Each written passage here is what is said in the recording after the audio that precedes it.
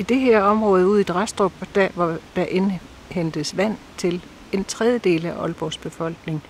Og det er særligt sårbare beskyttede område, det er her. Der skal der nu anlægges en motorvej, Eholt Motorvejen, og et udflætningsanlæg ved Nynibevej. Allerede i VVM-rapporten er øh, anlægsfasen en, varig risiko, en risiko for en varig forurening af grundvandet og dermed også drikkevandet. Og også i driftsfasen vil der være risiko for, at vejvand og ulykker med drift og benzin øh, kan forurene grundvandet veje og ødelægge øh, grundvandsmagasinet i det her store område, som er beskyttet i dag. Der må ikke ændres terræn, der må ikke bygges nyt, og der må ikke udledes noget, der, noget miljøfremmende stoffer overhovedet, der kan forurene grundvandet. I dag dyrker vi rent drikkevand her. Det bliver ikke renset. Der er 0 milligram kvælstof per liter. Vi har det reneste, fineste drikkevand, og det skal vi kunne gøre i fremtiden til vores fremtidige generationer og børn og børnebørn og passe på det. Lasse Frimand Jensen. Jamen derfor er det jo selvfølgelig er jo nysgerrig på, som jeg siger, at når motorvejen så skal igennem to grundvandsparker, som du har kæmpet for, at man skal anlægge andre steder, så er der selvfølgelig meget nysgerrig for at høre, hvad din holdning så er til det i dag, når du er borgmester. Der er et stærkt politisk ønske om at bygge Danmarks dyreste motorvejstrækning vest om Aalborg. I midlertid kommer motorvejen til at gå gennem to store topbeskyttede vandreservoirer, flere gamle deponier fulde af asbest, beskyttet natur for blandt andet ynglende strandtusser og restende knortegæs, og med et uvurderligt naturtab af en af Aalborgs bynære grønne perler, øen Eholm.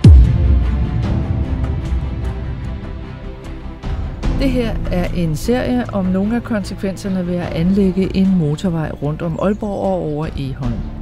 Vi har valgt, at vi skal sidde her i den planlagte linjeføring i det dejligste område vest for Aalborg, cirka 500 meter til Limfjorden. Og i dag skal vi høre om drikkevand. Velkommen til dig, Gitte Ramhøj. Hvad er det, vi skal vide om drikkevand i forhold til at anlægge en motorvej lige netop her? Både Drastrup og Lindholm Vorup er nøglevandværker, som på sigt skal overtage de vandværker, som vi er nødt til at lukke andre steder, fordi vi ikke har foretaget den nødvendige øh, forebyggelse i, i tide. Og der findes ikke erstatninger øh, til Lindholm Vorup og Drastrup, øh, fordi det tager jo de her 30, det har taget mere end 30 år for at beskytte Drastrup, og det, man skal starte forfra andre steder, hvis man skal starte fra scratch og lave en ny vandboring og et nyt vandværk et nyt sted. Særligt kritisk er, at motorvejen tænkes at gå gennem det boringsnære beskyttelsesområde i Drastrup, som er en del af det udpegede område med særlige drikkevandsinteresser. Aalborg Kommune startede øh, i 80'erne med at sætte, det var det daværende Aalborg Byråd, der virkelig var visionært og satte 3 millioner kroner i om året til jordopkøb og til at starte den her proces.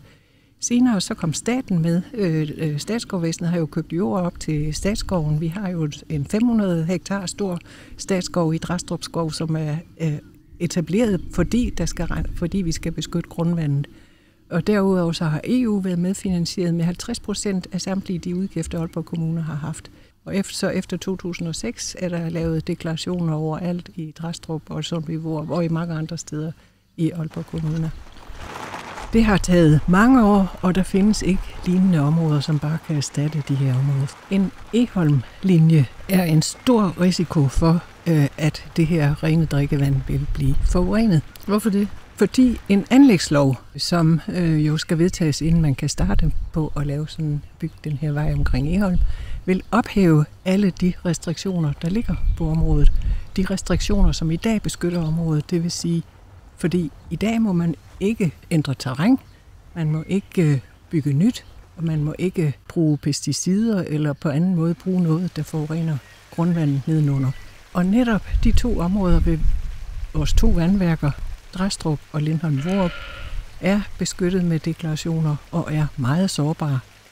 Øh, tager vi øh, og kigger på Dræstrup-området, så er jordbunden, den består af kalk og kridt i bunden, og så grus og sand ovenover. Det har ingen rensende effekt, så hvis der kommer noget ud på overfladen, øh, som kan forurene grundvandet, så vil det sive direkte urenset ned i grundvandet og videre til vores drikkevand. Det du siger, det er, ja. det, er det her område 700 hektar. Ja, der er plantet skov, og der er udlagt permanent græs, og på de private lodder er der tinglyst deklarationer øh, imod, at man må bygge nyt og ændre terræn øh, og bruge nogen form for noget, der kan forurene grundvandet. Og det er jo de ordninger, der vil blive ophævet med en anlægslov. Det er ikke noget, jeg sidder og finder på, at der er en risiko for øh, forurening af grundvandet i de her to sårbare områder øh, ved Dræstrup og Lindholm Vorup. Det skal sige allerede VVM, den øh, øh, vurdering af risikoen for en forurening af miljøet, som har været fremlagt og som gav en voldsomt mange indsigelser. Allerede i anlægsfasen, hvor man jo ændrer terræn, og hvor man har olie og benzin, og man vil sænke grundvandsspejlet, er der en stor risiko for en varig grundvandsforurening, som ikke kan genoprettes. Men vurderingen øh, i den her VM siger mærkværdigt, at der er, det er en moderat risiko, altså en begrænset risiko, og hvordan man kommer derfra en, en voldsom forurening til en begrænset risiko, det øh, forstår jeg ikke helt. Det er ikke øh, korrekt. Det, der, er, der er et eller andet galt. Øh, så kommer vi til selve driften. Øh, det vil sige, når bilerne begynder at køre, så er der jo øh, vejvand, der bliver dannet vejvand, øh, øh dækstøv og salte og oliespil. Øh, og der er en, øh, øh allerede i VVM beskrevet en, en væsentlig risiko for en forurening af grundvandet. På trods af, at man i anlægget af motorvejen vil lave nogle tekniske fix ved at lægge en membran ud, eller ved at lave en øh, kantopsamling og et regnvandsbassin, som vil beskytte mod udvaskning. Men der er min pointe, at en membran holder jo ikke evigt. Vores drikkevand skulle jo gerne kunne blive ved med at sende ud til vores børn og børnebørn urenset. Og hvor længe holder den membran? Jeg mener helt bestemt ikke, at Vejdirektoratet kan give nogen øh, garanti for, at den holder evigt. Og øh, den her øh, opsamling, kantopsamling og en membran i en øh, i regnvandsbassin, holder heller ikke med de øh, voldsomme øh, klimaændringer, vi har nu. Der er regnet med fem års risiko for en øh, skybrud, men i dag har vi jo tredobbelt skybrud hver eneste år, øh, og det vil sige, at der vil ske oversvømmelser og øh, risiko for en forurening på trods af øh, kantopsamling og øh, opsamling i regnvandsbes, beskyttede regnvandsbassiner. Så øh, min pointe og det jeg, budskab, jeg gerne vil fortælle, er, at det er en unødig risiko for vores fremtidige behov for rent drikkevand at lave Ehold motorvejen. Det er en kortsigtet løsning. Øh, vi er nødt til at kigge fremad og tage en, de mere langsigtede briller på. Øh, min bekymring er, at det beslutningsgrundlag, vi har, kigger så kortsigtet. Øh, jeg savner og efterlyser en mere øh, langsigtet øh, beslutningsproces, som tager højde for den her bæredygtighed, som vi er nødt til at kigge på, hvis vi skal sikre rent drikkevand til vores fremtidige generationer, vores børn og børnebørn. Men det, jeg hører dig sige, det er, at vi 50 meter nede i jorden har fuldstændig ren kildevand. Vi kan drikke det direkte, uden at gøre noget ved det. Vi henter direkte op, drikke ja. det som drikkevand. Ja, det er rigtigt. Det er det, vi har bestøt, beskyttet. Det er det, du også selv har brugt 30 år på at beskytte.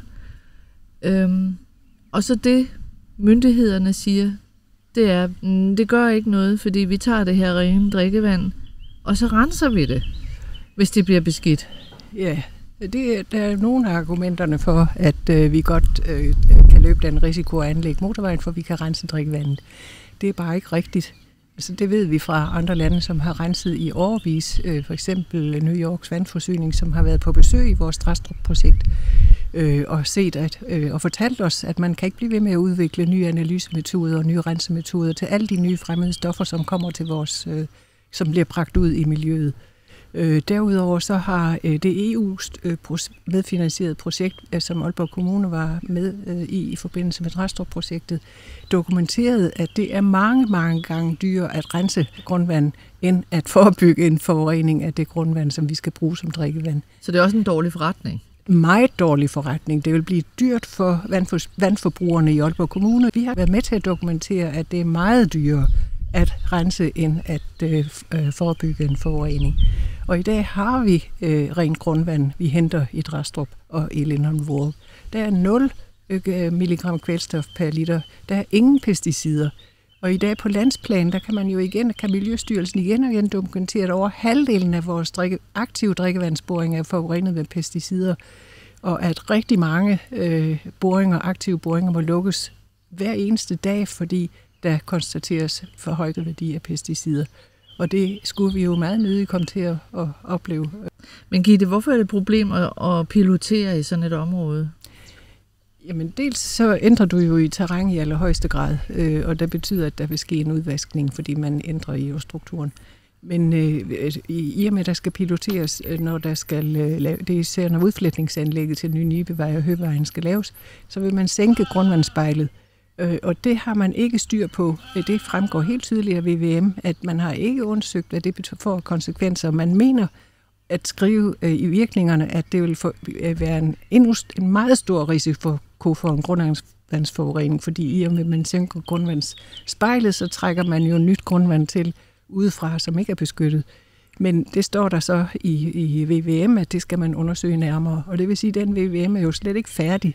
Øh, og det er jo ret spændende øh, nu her med den nye VVM, som øh, Miljøstyrelsen har pålagt Vejdirektoratet at lave en revideret og en opfølgende VVM, fordi der er en række uafklarede forhold. Og det er ret afgørende, hvad de kommer frem til det, om det overhovedet kan lade sig gøre at sænke det her grundvandsspejl, uden at det sker den øh, uoprettelige forurening af grundvandsmagasinet. Hvad, hvordan øh, tager myndighederne imod de her oplysninger, du kommer med?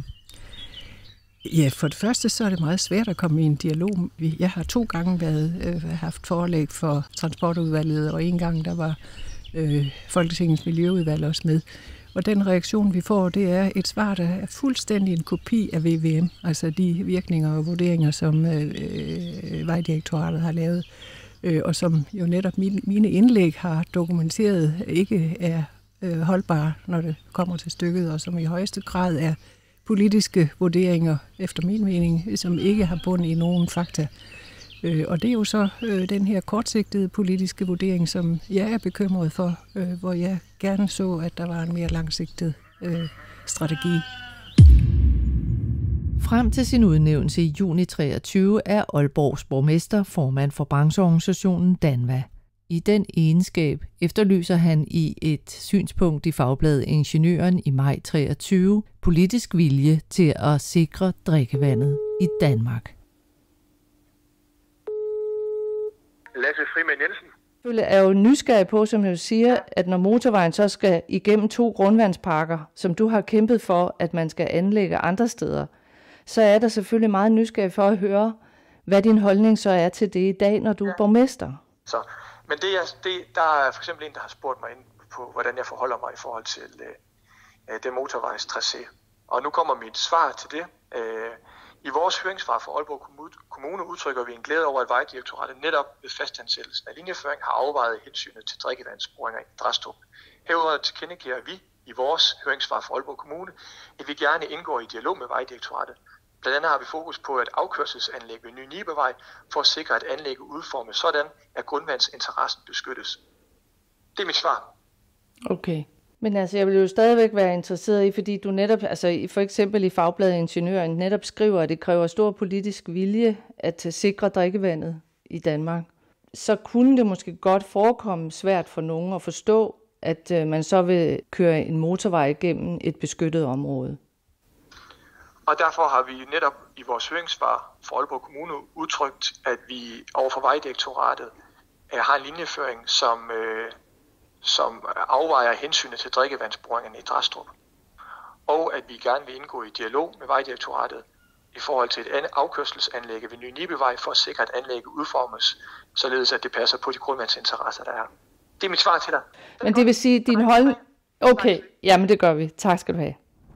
Som opfølgning på Lasse Frimand Jensens udtalelse vil vi gerne have spurgt om, hvordan anlæg af Egholm motorvejen gennem et topbeskyttet område imødekommer drikkevandsinteresserne.